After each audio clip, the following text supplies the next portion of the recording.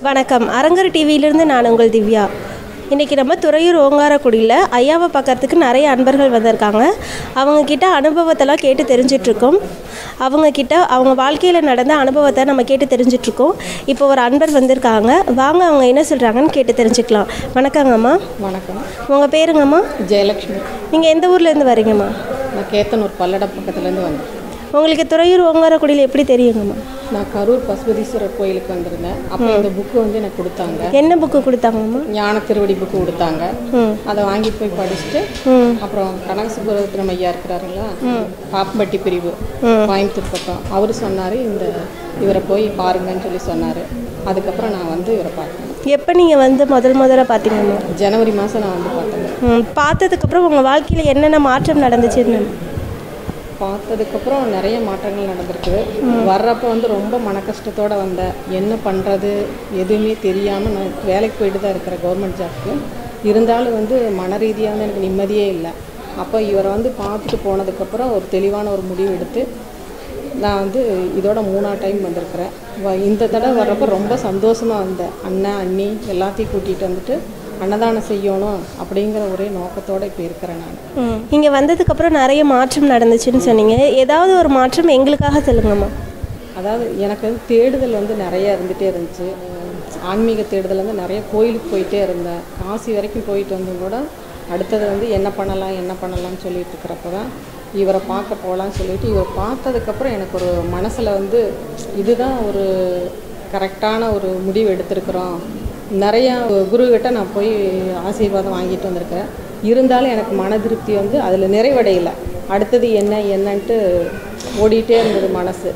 அப்போ இப்போ நான் வந்து ஜாப் ரிசைன் பண்ணிவிட்டு கண்டிப்பாக வந்து தியானம் பண்ணி இவரோட நாமத்தை வந்து காலையிலேயும் சாயந்தரம் சொல்லிகிட்ருக்கிறேன் அன்னதானம் செய்யணும் அப்படிங்கிற ஒரே குறிக்கோள் எனக்கு. முக்தி கிடைக்கணும்னு ஆசை எனக்கு. அதுதான் நான் வேண்டிகிட்ருக்கிறேன் அது எனக்கு இப்போ ஒரு என் பாயிண்ட்டுக்கு வந்துட்டேன்னு மனசு வந்து திருப்தியாக இருக்குது. நீங்கள் நிறைய ஆன்மீக தேடல் போயிருக்கேன்னு சொல்லி நிறைய இடத்துக்கு போயிருக்கேன்னு சொல்லியிருக்கீங்க. அங்கே போனதுக்கும் இங்கே ஓங்காரக்குடிலுக்கு என்ன வித்தியாசம் பார்க்குறீங்கம்மா இல்லை அங்கே போனால் இப்போ கோயிலுக்குள்ளே உள்ள நுழையிறப்ப பார்த்தீங்கன்னா ஒரு மனசில் வந்து ஒரு ஆனந்தம் வரும். டக்குன்னு ஒரு இதயத்தில் வந்து ஒரு சந்தோஷம் மின்சாரம் மாதிரி ஒரு பாய். அது ஒரு செகண்டு தான் இருக்கும். அப்புறம் திரும்ப வீட்டுக்கு வந்து அடுத்தது என்ன அடுத்தது என்னங்கிற அந்த தேடுதல் இருந்துகிட்டே இருந்துச்சு. ஆனால் இங்கே வந்ததுக்கப்புறம் ஒரு நிறைவு வந்துருச்சு. இதுதான் அதாவது பிறவி பயணம் வந்து கடக்கறக்குன்னு சொல்கிறாங்க பார்த்தீங்களா?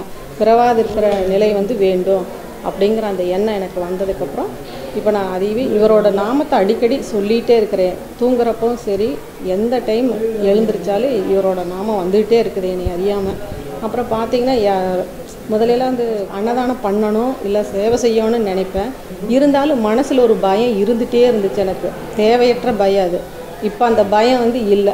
மனசில் தைரியமாக இருக்கிற அப்படின்னா அதுக்கு இவர் தான் காரணம் இவரோட நாமம் தான் காரணம் எனக்கு.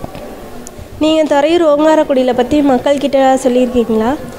நிறைய பேர்த்திட்ட சொல்லியிருக்கிறேன். சொல்லி தான் இப்போ அக்கா பொண்ணு அக்காவோட மாப்பிள்ளை அக்கா பையன் பேரன் இப்போ அண்ணன் அண்ணி அப்புறம் ஃப்ரெண்டு எல்லாத்தையுமே நான் கூட்டிகிட்டு வந்திருக்கிறேன். மூணாவது தடவை வந்திருக்கிறேன்.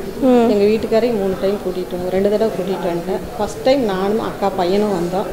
வந்து பார்த்துட்டு அப்போல்லாம் வந்து அழுதுகிட்டே போனேன் நான். என்ன ஏதுன்னு கூட தெரியாத அளவுக்கு. அதாவது ஐம்பத்தஞ்சு வயசு ஆகுது எனக்கு. இருந்தாலும் ஒன்றுமே இல்லாத மாதிரி அனாத மாதிரி ஃபீல் பண்ணிட்டு தான் போனேன். ஆனால் இப்போ அந்த ஃபீலிங் வந்து எனக்கு இல்லை.